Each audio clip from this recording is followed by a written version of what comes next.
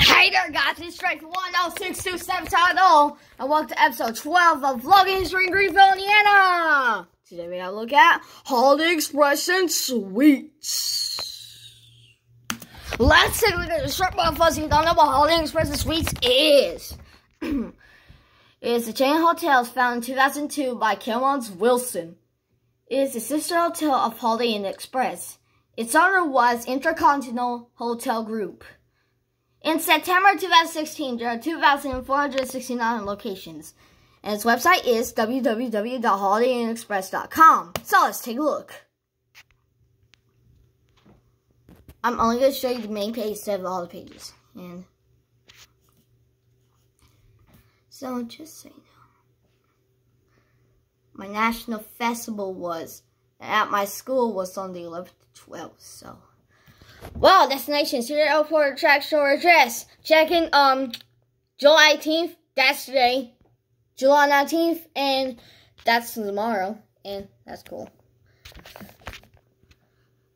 Jump to start jump to start your day your way. When you wake up after a great night's sleep at, at any of 30,000 plus Holiday Express de destinations worldwide and fall into the to a free hot breakfast you'll see you'll see that there's real really something for everyone. So bring your crew, your team, or just yourself to the best start of your day ever.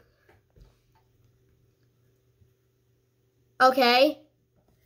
A great night's sleep with rooms designed for major comfort, including plush devots. Free hot breakfast. Indulge in all your breakfast favorites, complete with free, fresh, hot, and hot and healthy and kid-friendly options to, to fuel to fuel you with the, for the day ahead. It's delicious. And lots of spaces to connect, well-designed spaces for family and reunions or meetings. Sport teams, we have the flexible spaces that you need. And look.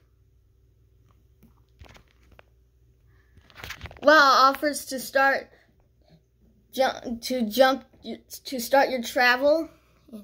It's better to become a member. And I'll a look at the main page. That's all. And, and now let's get back to slide. Now, without further ado, let's get started. 2002 to 2007.